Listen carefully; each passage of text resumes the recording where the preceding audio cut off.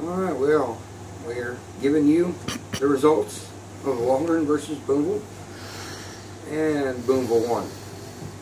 Let's see, what was it? The score was uh, something to zero, 40 something to zero. Who cares? Booneville won, that's all that matters. They actually put big boy pants on this time. Win their game. West Fork lost as usual. They've only won one. Was it, was it one? Let me think. Yeah, yeah, I won. I think against Subiaco. Oh God, I can't wait till next week.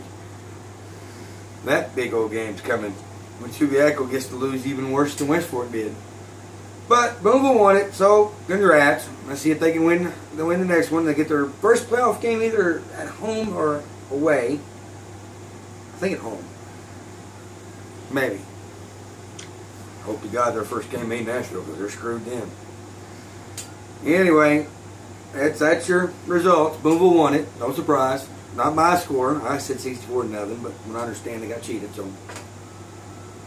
Oh well. Yeah, well, let's see here.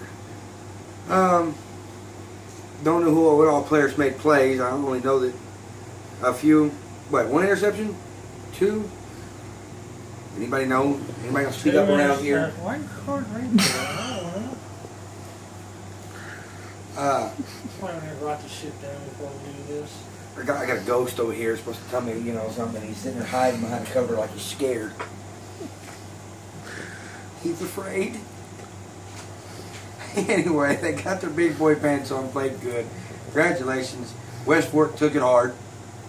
No Vaseline whatsoever. They became Booneville's prison bitch.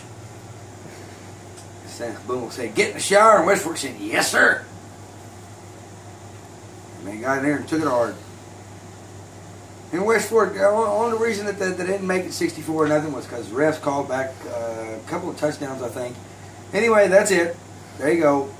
Um, there's prediction of it. Subscribe to me.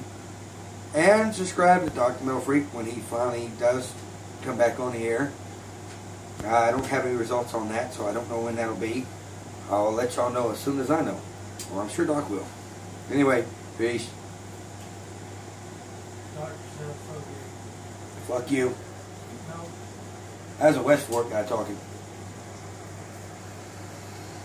He's mad because what I said.